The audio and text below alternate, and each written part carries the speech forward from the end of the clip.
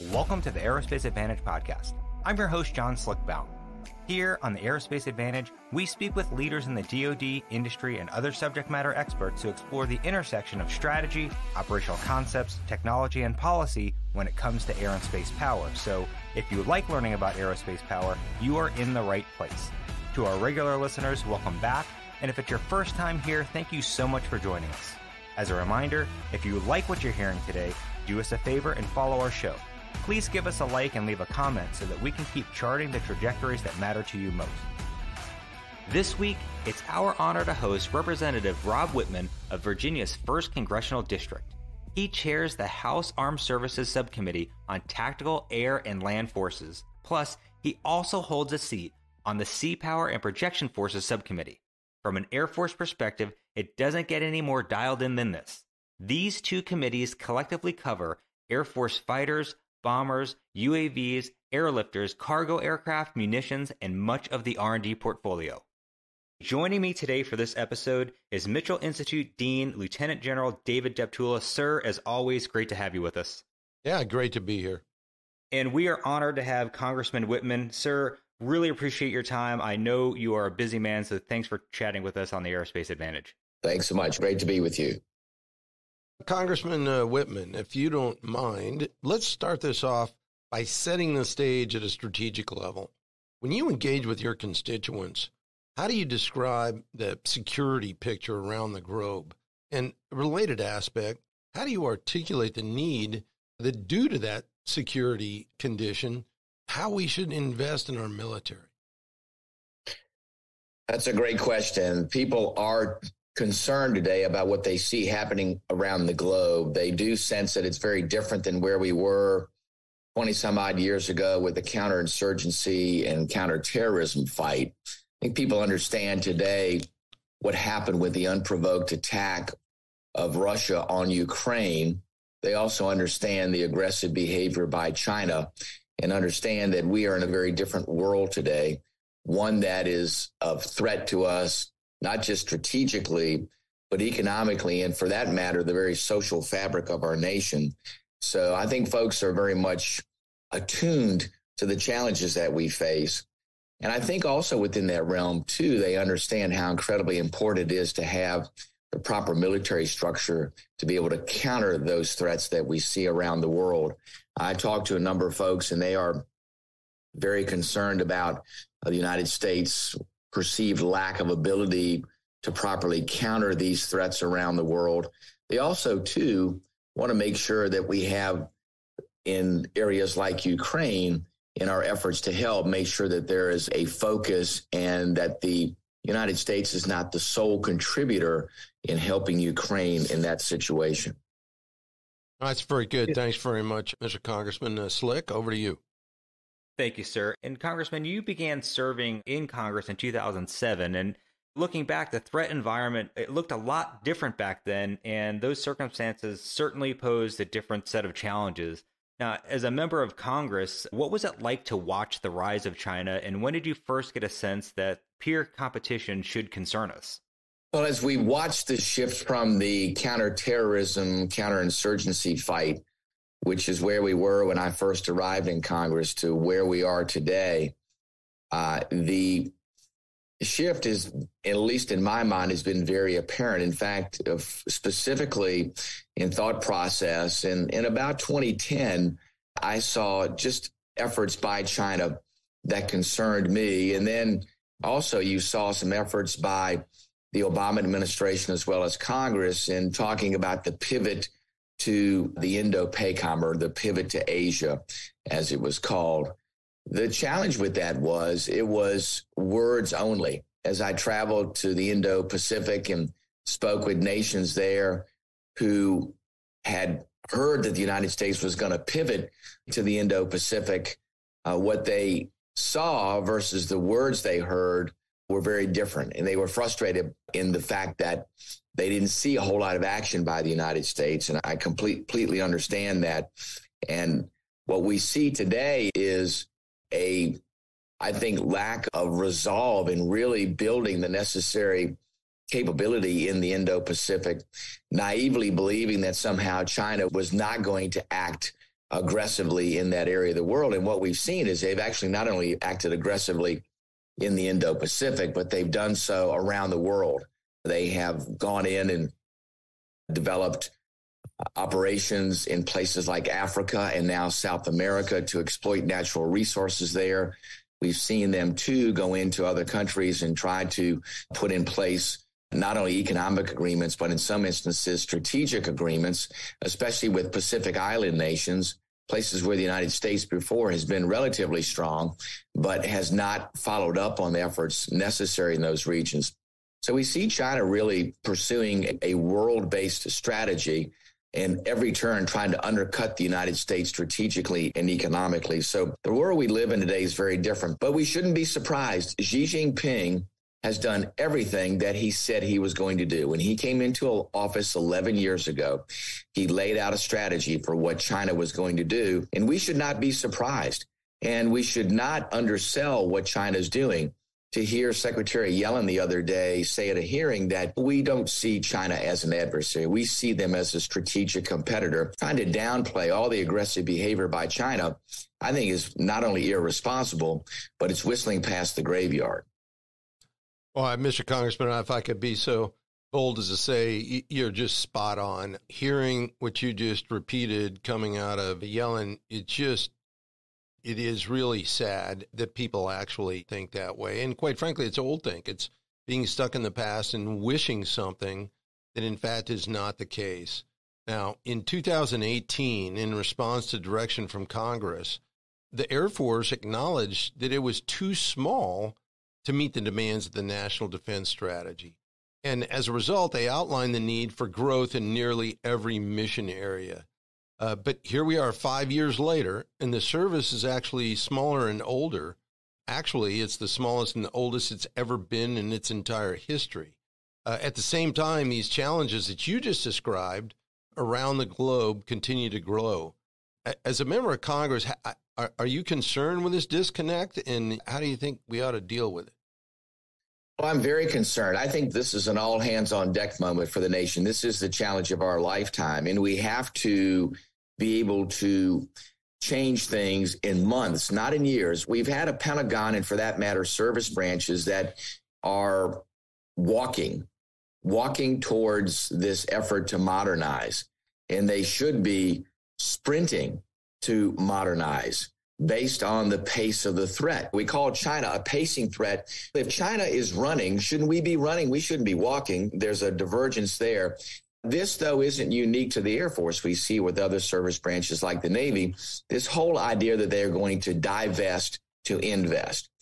And we've seen through history that never happens. The divestiture dollars that are saved never result in capacity to replace the retired capacity in any period of time that's relevant. And the same thing's happening today. They want to retire these old platforms. And listen, some of them do need to be retired. No two ways about it. The A10, the F-15Cs and Ds, they, they struggle to be able to operate in any meaningful way in the environments that we have today. You could argue about the A10 in certain circumstances, and they're not going to retire all of them at one time. But the idea that somehow the savings from retiring those aircraft are immediately going to result in a follow-on capacity is just not anything that's going to happen. You don't see those dollars directly translating. So you see this divestiture curve. So you see the number of platforms continue to go down. So let's look at the downward side of that curve. And then you look at it and say, where is an upward side of the curve going to occur with new capability, with new capacity, with new aircraft?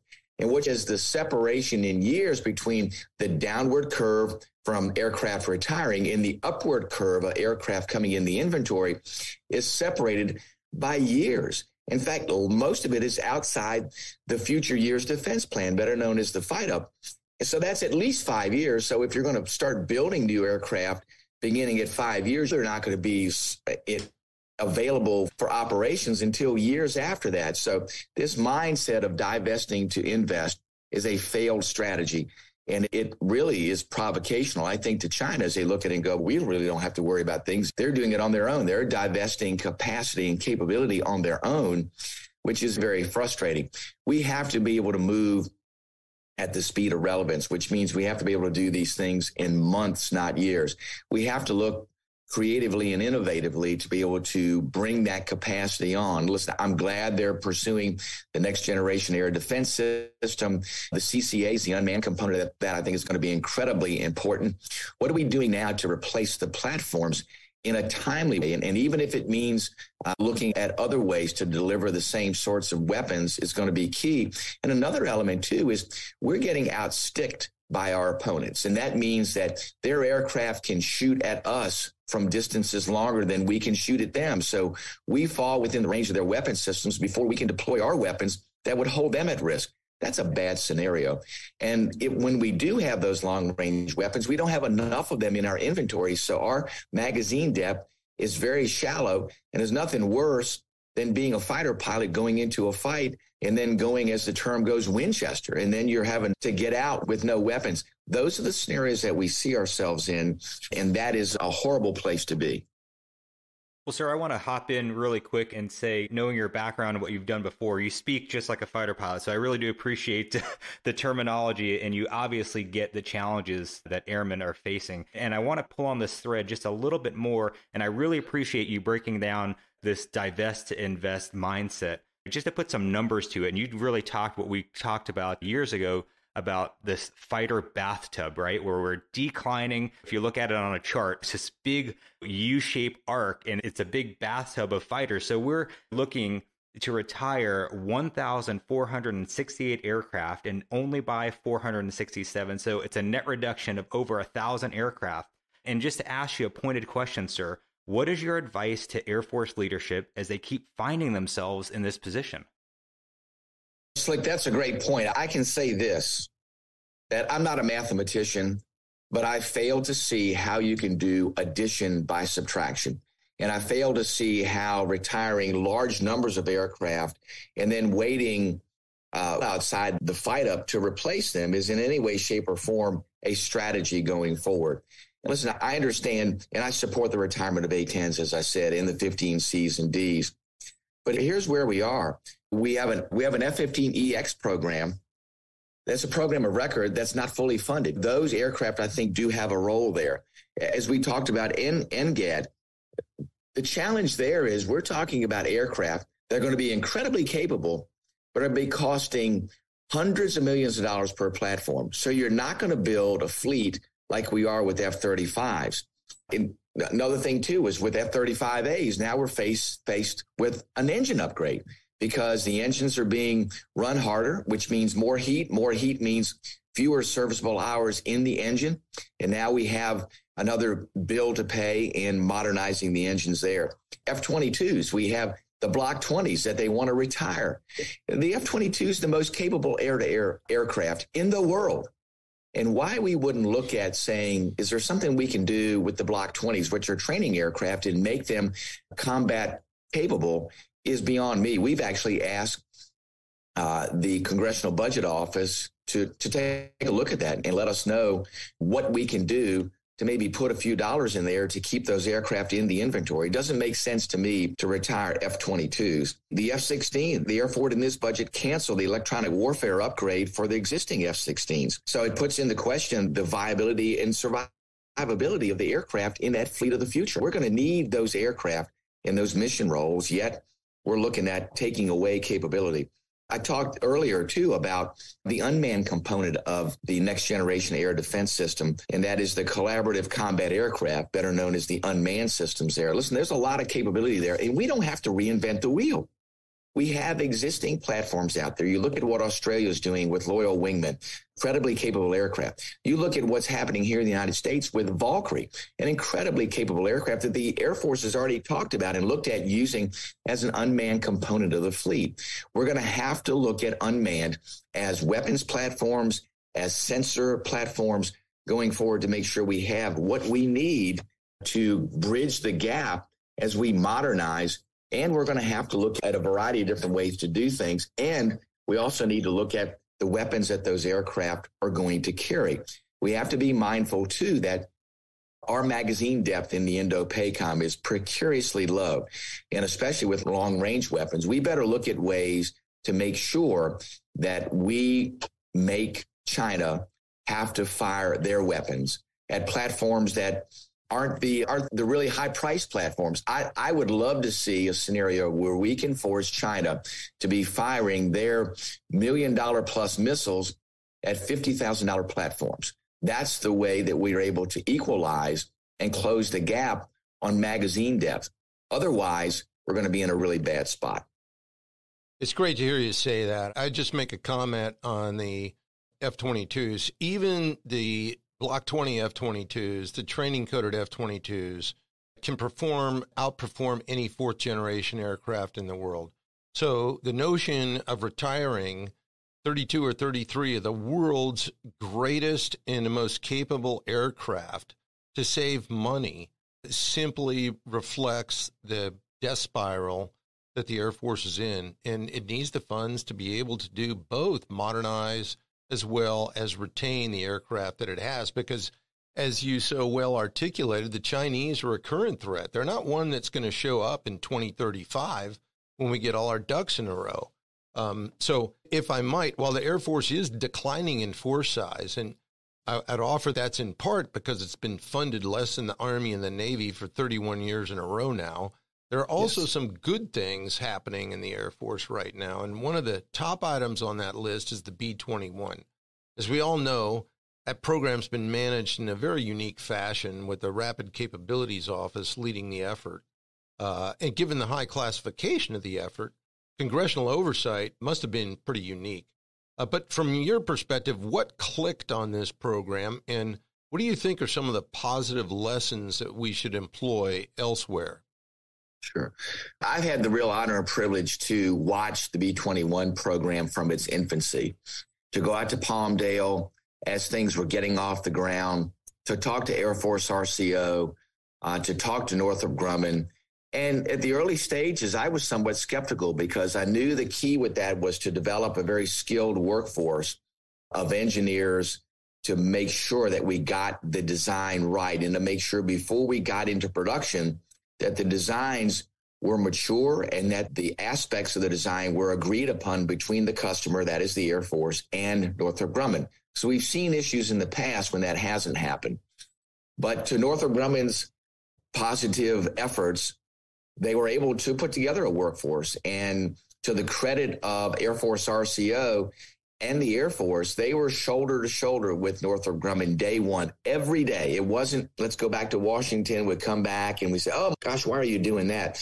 It was shoulder to shoulder effort every day. So if there was a hiccup, they sat down, talked about it, and said, okay, this is the path forward. And that is, I think, the secret to success for B21, as well as the suppliers. If you look at companies like Spirit, give Spirit credit, man. They stepped up. There were some issues with the wings to begin with. They stepped up, fixed those issues. The same with Pratt Whitney. There were some issues early on with Northrop and with Pratt.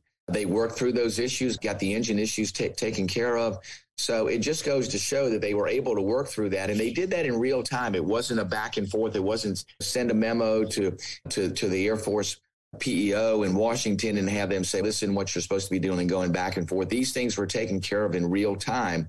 And I think that it stands as a true example about what you can do in a program like that. Remember, this will be the most advanced aircraft ever constructed by man.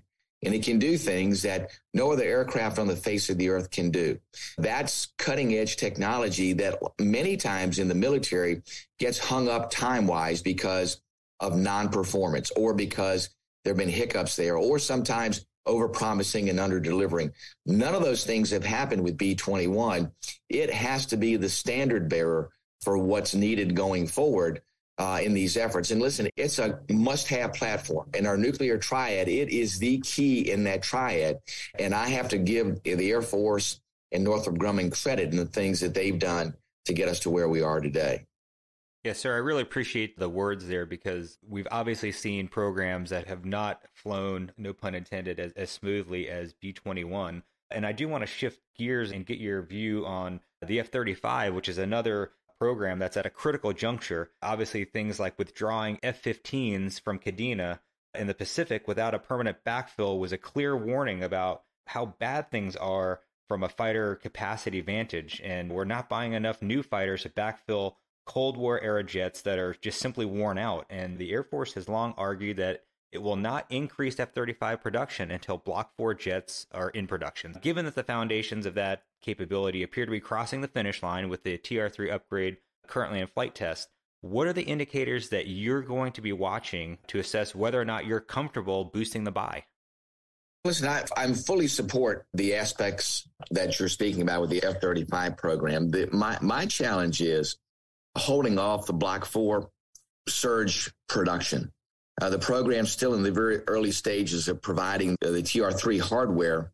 And the thing that concerns me about that is the TR3 hardware deliveries we've learned recently is delayed until at least December this year.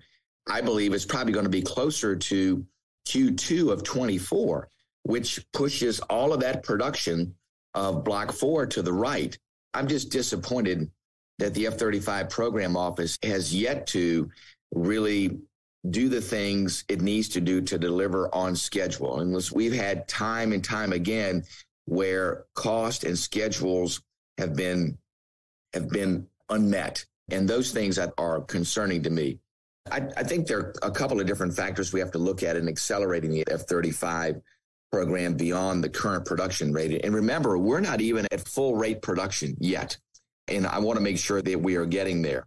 The program office, I think, needs to bring down the sustainment and maintenance costs for the aircraft. They're going to have to decrease the operating cost of the aircraft by 47% to afford the 1,763 aircraft they plan to buy.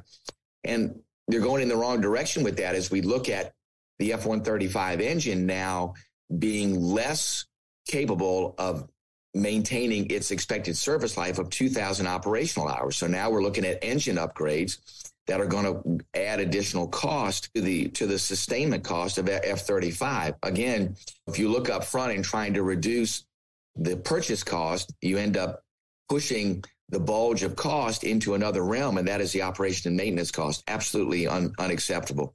And the supply chain and parts repair enterprise for F 35 needs to have, I think, the adequate capacity and sufficient turnaround time to support an increase in the F 35 inventory. We have to be able to use additive manufacturing. We have to do things to be able to bring down the cost of operating those aircraft. We've looked at existing F 35s right now, and the operational availability of those aircraft concerns me because the sustainment enterprise isn't being sufficiently sized and isn't effectively or efficiently functioning to absorb these additional aircraft. Lord forbid when we have even more aircraft in the future. So the sustainment side of the equation is not where it needs to be. And it has to be there if we have any chance of making sure that the 1,763 aircraft that the Air Force plans to buy are going to be operational or that you have any percentage of those aircraft that will be combat ready which I would argue in the years to come is going to be one of the most important things we need to deter China. Yes, sir. Now, part of this whole equation is supposed to come from a new generation of uninhabited aerial vehicles or drones, as they're more colloquially called. But the new name is Collaborative Combat Aircraft, or CCAs for short. Um, and Mitchell Institute's a big believer in these capabilities, but we're also pragmatic and recognize that this technology is new and ambitious. A crawl, walk, run approach may be prudent to ensure we give these systems a time to mature so we don't conflate what we want to have happen versus what reality dictates. Now, as a member of Congress with oversight responsibilities, what are your thoughts on how we should smartly pursue these new systems and what kind of factors are you going to be watching as CCAs evolve? Listen, I think the CCAs hold a tremendous amount of promise. Combat aircraft are going to be an, an integral part of how we pursue tactical air operations in the future. But listen, I think there's still a long road ahead. We still can't get our fourth and fifth generation manned fighter aircraft to reliably share tactically relevant data during combat operations. There's still some hiccups there. I've been out to Nellis and watched the red flag exercises, and these are great aircraft, but there's still challenges there. There's still challenges too as we operate these aircraft in all the different realms, as the Navy operates these aircraft, as we look at the efforts going forward with the coordination of getting tactically relevant data in real time to other platforms. So CCAs, I think, can hold a tremendous amount of promise. We also not only have to figure out how do we get them to operate in this integrated realm of other manned aircraft, but we also have to be able to determine these aircraft hold a role if we are in a conflict where our communications go down. How do we make sure these aircraft can again operate organically because we're going to need them to operate in that realm if we have significant shutdown of our communications and our links to to all of our, our different aircraft. Listen, I think that I think they're an incredibly important part of that, and we're watching NGAD very closely, both the manned and unmanned components. The overall price of NGAD, especially for the manned component, pretty staggering.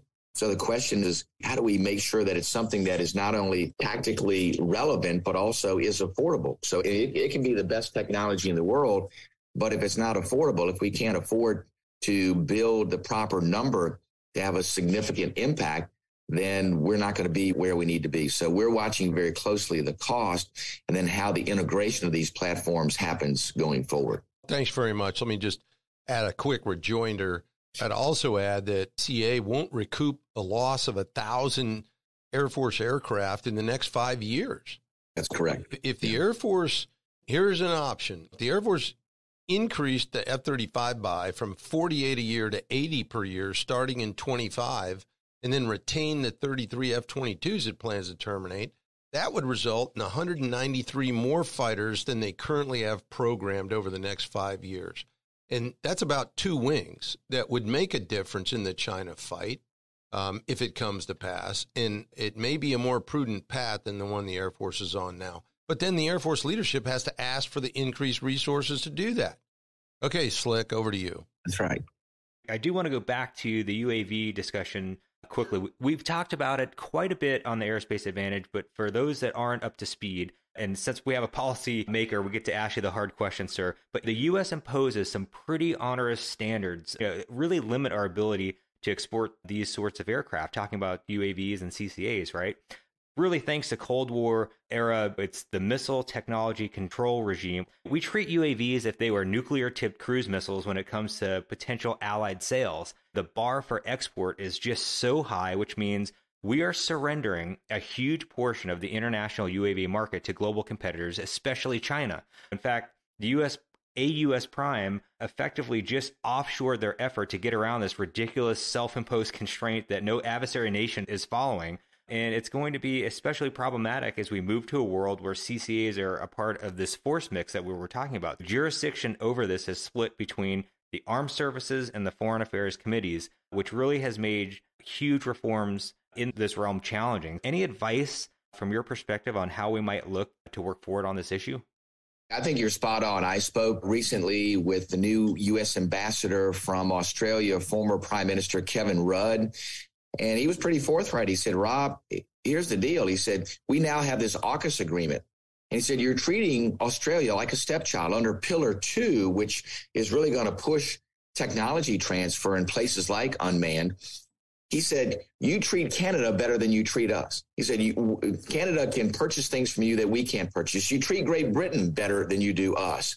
We're supposed to be your partner in all this. We're supposed to be now be building nuclear submarines, which is indication of the highest level of trust. Yet you will not, under ITAR, transfer technology to us. Why? And I told him, I said, Kevin, you're right. We should, we have to be doing better. We have to make sure too that we look at these systems, which are too deeply entrenched in bureaucracy. This is all about checking the box instead of looking at, again, acting at the speed of relevance. How do we get the necessary technology in the right hands? And just as you spoke about, our adversaries are doing that. Why wouldn't we want to do that? And we are overly cautious in believing somehow, gosh, if we share this technology, that our friends and allies are going to allow it to be captured by the Chinese. The bottom line is the Chinese are already working at stealing this information. In many instances, the technology that they're put, putting out there that they're selling to our friends is equal to ours. What are we trying to save and protect? Why wouldn't we want to get out there and do that? Why wouldn't we want to push the issue? All of this stuff just makes no sense to me. It's all wrapped up in the elements of bureaucracy. This is not about outcomes. It's about checking the box. People in the Pentagon go to work each day and listen, uh, there are a lot of great people at the Pentagon, but a lot of them go there as box checkers. I'm going to check my box today. I get my paycheck on Friday. There's not a problem. Instead of looking at it and going, how can we think creatively and imaginatively to solve the problems that we face today? They have got to act at the speed of relevance. It's not happening. It will be to the detriment of this nation strategically if we don't get together. We cannot by ourselves do the things necessary to counter the Chinese threat. We have countries like Australia that want to be with us and help us and we have the opportunity to bring others to our side like India, why are we doing that? We need to be doing that, period. Just as a segue to the, it's a good segue to this next question, and that's it. We've gone through multiple presidential election cycles now where defense really didn't register at all on either side of the aisle. But those elections happened before Russia invaded Ukraine. Uh, do you think that combined with China's increased aggression has helped change our nation's perception about defense? Or is it going to unfortunately take our losing the next conflict to get the nation's attention as to why we have a government in the first place, and that's to provide for the common defense? I think in some ways it has gotten the American people's attention. I think the unprovoked attack by Vladimir Putin on Ukraine is a concern to everyone, as well as China's increased aggression, things like the spy balloon flying over the United States, the other efforts that they're undertaking in the Indo-Pacific, and essentially them saying, hey, if if Taiwan doesn't by itself allow to be reunified with China, then we will take action in 2027. So I think folks are seeing we live in a much more dangerous world. Listen, there are some elements of what's happening in Ukraine that are being informed by the current economic situation that we face in the United States. And we've seen this happen before. The idea that, you know, that we're sending billions of dollars to Ukraine, yet we have these economic challenges here. I think people sometimes look inwardly and go, hey, let's take care of the issues here first. And then we can help these other nations. I think too, they don't want this to be a blank check being written to continue to send arms and effort and efforts of help to Ukraine. They want to understand what's the end strategy here.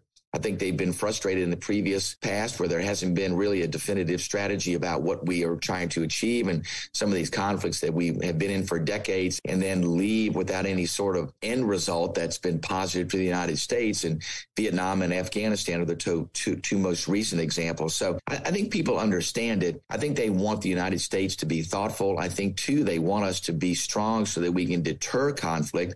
I think especially with China, I think they understand the challenge with China and they do want us to deter that conflict. I think too the American people don't understand deeply enough the the strategic imbalance that now is between the United States and China.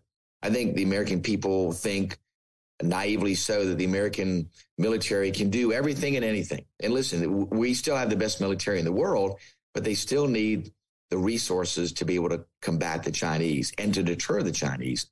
And I would argue we are at a point where that may not be able to occur based on the capability and capacity that we have. So I think we need to do a better job of explaining to the American people where the disparity is between the United States and China and the things we need to do to close that gap. And I want to make sure too that they understand that the best way for us to deter a conflict is to have a strong military. The idea of peace through strength. If you are weak, that is provocative.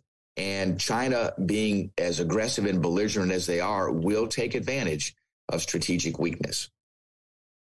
And, sir, this is something I know you get. And again, it's heartening to hear a congressman using 3 1 brevity com talking about being Winchester when our magazines are low. But the events in Ukraine have really highlighted the importance of investing in munition stocks. And we've grown just way too used to these accounts being bill payer, which we've seen these inventories run dangerously low. And it's not a new problem. It's something we nearly ran out of munitions fighting in places like Afghanistan, Iraq, Libya, and Syria. And it's a far cry from the demands of a peer fight. So, are there steps, in your opinion, that the DoD and Congress can take to help address this chronic problem?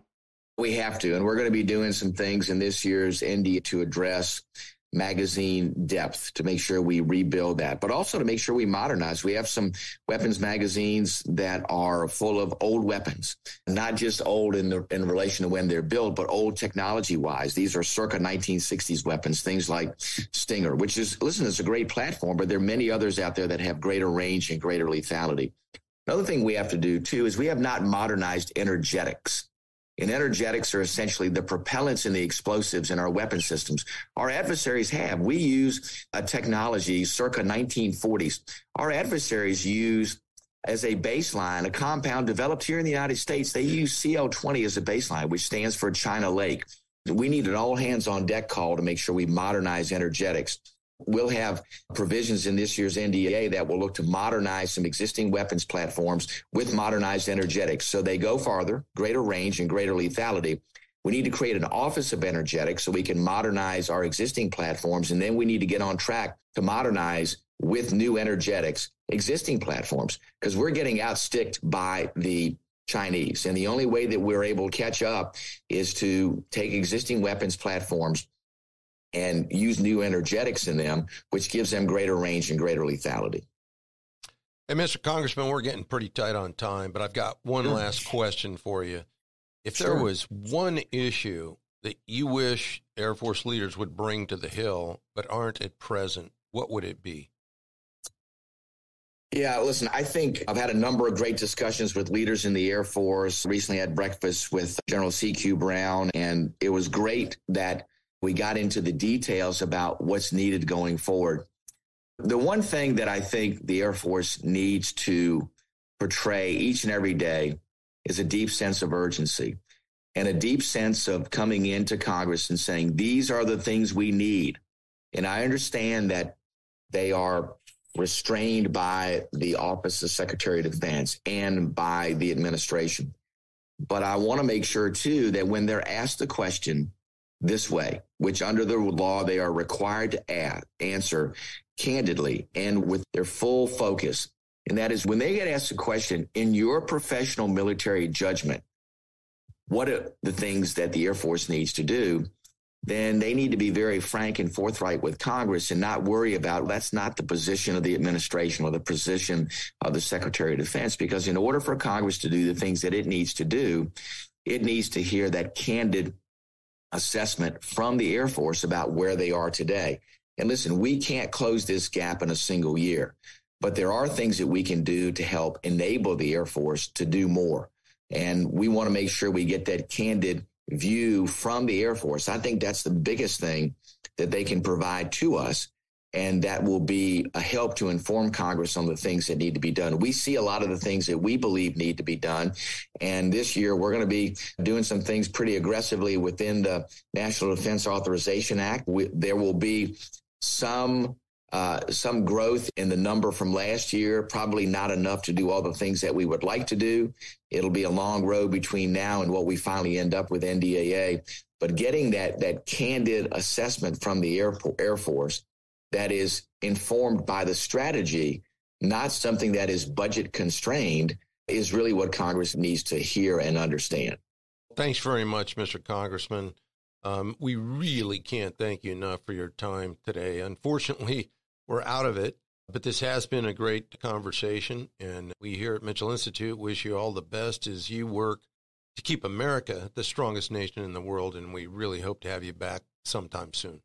We would love to be back. Thanks for all the great work that goes on at the Mitchell Institute. We watch and read the things that you all put out very intently, and we appreciate your efforts in driving the discussion forward. So we look forward to coming back with you again soon. And sir, this is Slick. Just wanted to say thanks as well and look forward to hosting you next time. Sounds great, Slick. Thanks so much. With that, I'd like to extend a big thank you to our guests for joining in today's discussion. I'd also like to extend a big thank you to our listeners for your continued support and for tuning in to today's show. If you like what you've heard today, don't forget to hit that like button and follow or subscribe to the Aerospace Advantage. You can also leave a comment to let us know what you think about our show or areas you think we should explore further.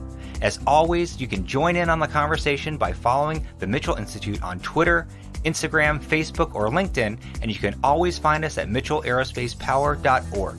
Thanks again for joining us, and we'll see you next time. Stay safe and check six.